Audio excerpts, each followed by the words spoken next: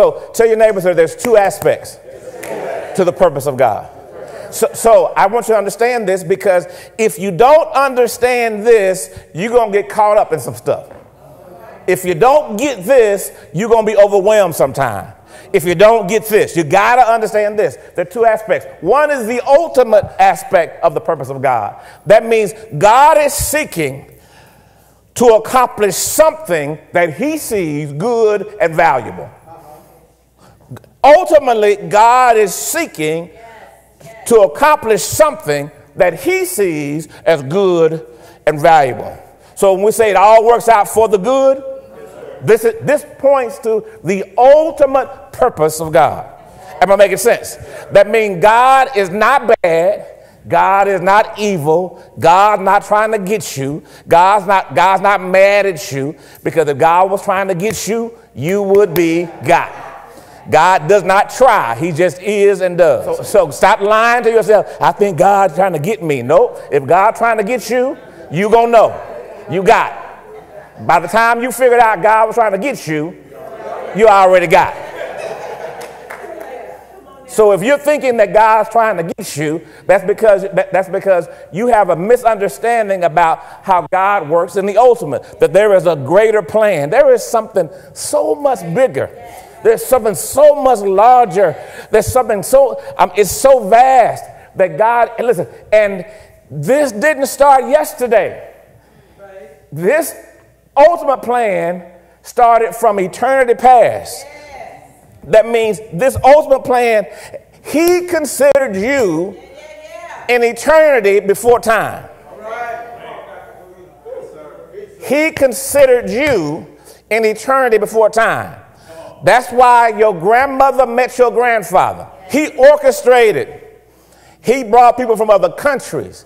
That's why when you look at Ancestry.com, you got a little England, a little Jamaica, a little Asia, a little Africa, a little all this stuff mixed all in, and you sitting there going, that, that's why you got that, that, that straight hair coming out of here and that curly hair over here. Because God has this ultimate plan which means your, your ancestors' ancestors, God was shifting them around, listen, to give birth to you. He was working very diligently trying to make sure that when you needed to arrive on earth, you would arrive on earth. Am I making sense? That is the ultimate plan of God. You're not here by mistake. I don't, you, you get over the fact that you don't know your dad daddy. Get over the fact that, that your mama never said nothing. My dad didn't appreciate me. Get, get, you got to get over that because you caught, you caught up in the wrong thing. The fact that that little piece of sperm found that egg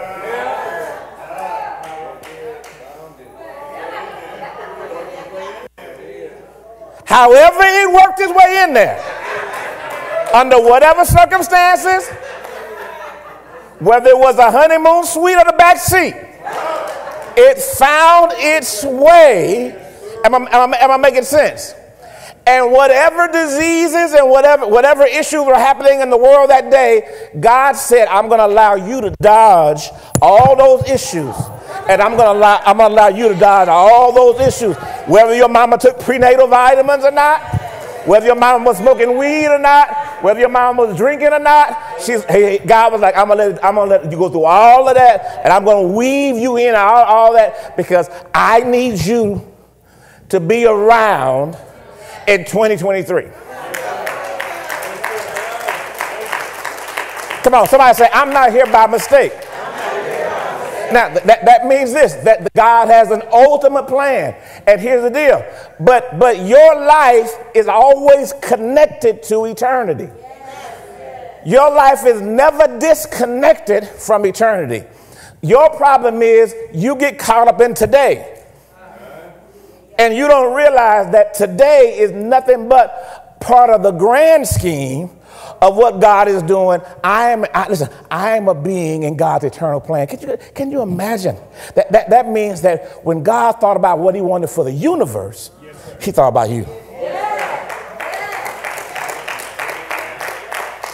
Am I making sense? How can you have self esteem issues when God was the one who drafted you? How can you be like, I don't feel good about myself, but God felt so good about you that He wanted you to be alive right here, right now? Am I making sense? Because you're a part of God's ultimate. Am I making sense? Makes sense. Now, here's the deal. This is where that, that's the ultimate side. The other side is the proximate, which means this God uses our life and the world today and our creation and our lives to help bring out his ultimate. God works in the proximate to bring forth his ultimate. God is working my today for your tomorrow. He is, he, he is exercising and moving and monitoring and moving things around. I got the friends I have in my proximate, and I have the enemies I have in my proximate because of God wants to, what God wants to do in the ultimate. Am I making sense? Joseph said this what my brothers meant for evil, am I, am making sense? Uh, that's proximate. God meant for good. That's ultimate. Am I making sense? Joseph understood why. Joseph understood, and he had, he, he, listen, that means he had to deal with his proximate. That means I got to deal with the fact that I'm in the pit. I got to deal with the fact that I'm in the prison. I got to deal with the fact that I'm being accused. That's just my proximate. Am I making sense? My problem is, your problem is that you allow the proximate to speak to your ultimate. And they say, you know, well, God, I guess I'm going to always be that way. That you talking about the proximate. You talking about what God is doing right now. But what they got to do with God, what God's really, really doing. Am I making sense?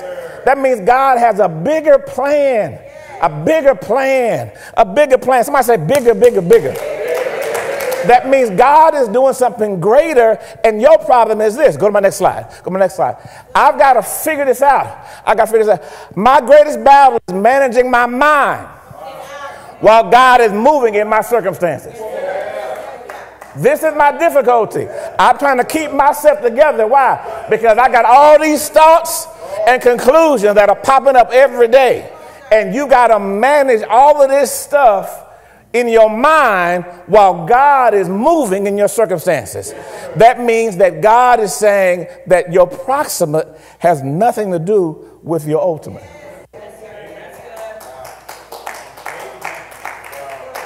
And I've got to make sure, yes, I am broke today because God is teaching me how to manage myself. Yes, I am prospering today, not because I'm the most brilliant, not because I'm the smartest, but because I'm in a good season.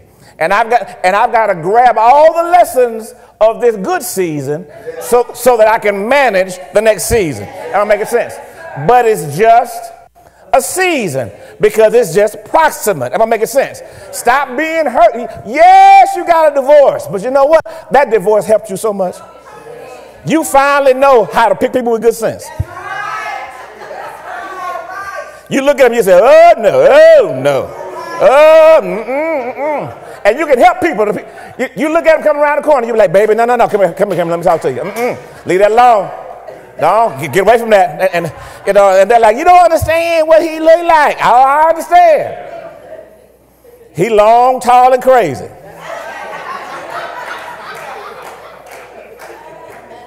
You don't want that. I'm making sense. Man of God, I, I, I, see what you're looking at. I see how she's looking at you and you looking at her. Uh-huh. Yep, yep. She got she she built like you like it. The problem is you don't her mind ain't built right. Am I making sense? So so what she can do with the rest of her body ain't gonna matter in six months. In six months, you, gonna, you ain't gonna want to talk to her. In six months, you ain't gonna want to sleep beside her. In six months, you're gonna, you gonna be like, just leave me alone. Just, just leave me alone. Just, and listen, and she some, she gonna be as fine as she was six months ago, but, but something changed. Why? Be, because, because you realize something now. That means the painful parts of your life, the stupid decisions that you made, the dumb conclusions that you came to were not because you are evil, not because you suck. It was because God was like, I got to teach you this. because because you got to learn this and you got to teach it to somebody else because your life is a part of somebody else's life. Am I, am I, am I making sense? So you got to say, I'm, listen, this is why I'm a better I'm a better parent now that I'm a grandparent. Now I'm like, oh, oh, this is how this works. And, and, you got, and you to tell your kids the truth. You say, we were just experimenting on you. We, I mean, I said, we, we, didn't, we didn't know what we were doing. I, I promise you, we didn't know. You know, but you know now we don't, we don't finally figured it out. Now, you know, because the kid like, I can't believe you let them do that. Yeah. Yeah, yeah, I, I didn't know no better back then. I was, I was trying. Listen, whatever I was, decision I was making with you was, was the best I had. Now, now I got a little bit more sense, so it, uh, I, am not going to even sweat that no more. Am I, am I making sense? Making sense. Why? Because you're better. That means that your experiences, if you're smart, makes you better. And that God is not, here's the deal God is not up in heaven flipping pages because you messed up. God is not sitting around saying, oh. No, no, no, no, no, no, no. Because if he was to do that, that would say that he was not omniscient. If you could disappoint God, it would, it would mean that there was something that you could do that he was unaware of. You cannot disappoint God because disappointment is, is an insult to his omniscience. Either he's all knowing or he's not. if he's all knowing, that means that he actually knows and knew all the stuff you're going to do when he drafted you. When he directed, listen, when he directed that DNA to come together, he said, I know, I know exactly what's going to happen. Am I making sense?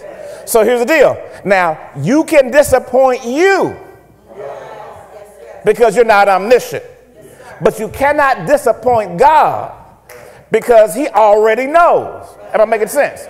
You can't surprise God because he's everywhere at the same time. Am I making sense?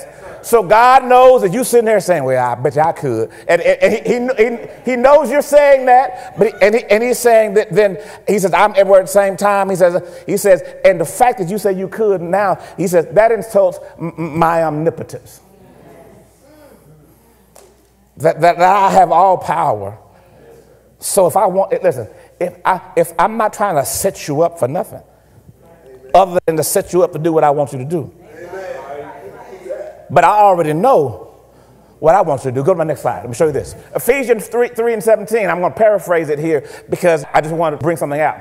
It says, that you, being rooted and grounded in love, listen to this, may comprehend or may be able to comprehend, listen, with all the saints, what is the breadth, the length, the height, and the depth. I'll say it again. What is the breadth, the length, the height, and the depth. You got to realize this that God operates in 4D. And your problem is you, oper- you, you, operate in 2D. some, some of y'all say 2D. That, that, listen, that means, listen, you can't run away fast enough to get away from God. You can't go low enough. David said, If I open my eyes in hell, he says, You are there. So, so some of us are, God, oh God, I've been to some dark places. And God, like, yeah, no. I was right, I was right there. I was waiting on you to get there. And God, literally, God's like, You ready to go? You ready to get about here? I'm making sense. But it says, it says this that my, my problem is, saints, that I can't comprehend, listen, the 4D-ness of God. Which means that, that I don't understand how I can be so distraught, but you can still love me. I don't understand how my, how my family could talk bad about me and you say good things about me.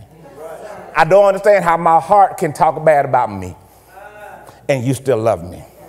I, I, and I'm having a hard time with that because God is saying, I love you in 4D. And, th- and that means that, that, that, that in, in, in, the, in the place of God, there is no place where you can go where He's not. And there's no place you can go to escape His love. It's just, it just is. His love ain't even getting there, it just is. Am, am I making sense? See, see I, I want you to understand this. This is so important for you. Why? Because many people get frustrated with their proximate life because they lose scope of the ultimate. Am I making sense? You're having a bad day. We ain't in denial. Am I making sense? But it's a bad day.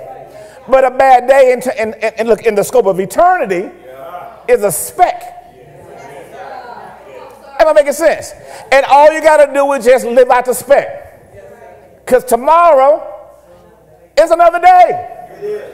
And every day he gives you 24 hours more. He said, All right, I'm, I'm, I'm, I'm going to gift this to you. I'm going to give you 24 hours, all right? This is the day that the Lord has made, right? I will rejoice and be what? Be glad in it. So he gave, he's going to give me 24 more hours to get myself together. He gonna give me 24 more hours to undo mistakes. He gonna give me 24 hours, and then once I'm finished with it, that if I'm living, He's to give me another 24 hours. The Bible says his mercies are made new every morning. That means when I wake up again, I got another set of mercy for where I messed up yesterday.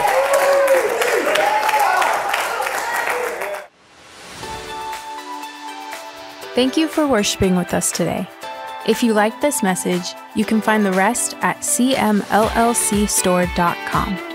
We invite you to join us again for our extraordinary worship services every Sunday at 10:30 a.m., Sundays at 4 p.m., and Wednesdays at 7:30 p.m. Central, where Dr. Moody teaches how to understand the Bible and you can get all your biblical questions answered.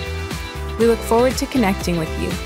We ask that you subscribe to the Rock ATX on YouTube and follow the Rock ATX on Facebook and Instagram to stay connected to all the Rock is doing. You can also get connected on our website at therockatx.org. Again, thank you for worshiping with us and be blessed.